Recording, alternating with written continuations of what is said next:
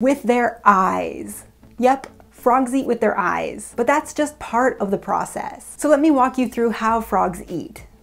So the first thing that the toad did was spot its prey. Now they can't turn their neck, so what they do is generally move their body or lunge towards the prey. This is so that they can see if it's alive, if it's something that they can fit into their mouth, and if it's safe to eat. Once the toad spotted its prey, it gets into stealth mode. They kind of act like a rock. That's part of the way the toad hunts. It's an ambush predator. So the bug is just on its merry little way. But you know that something's gonna happen next. Once the toad is sure that the bug has no clue what's going on, it licks it up with its tongue.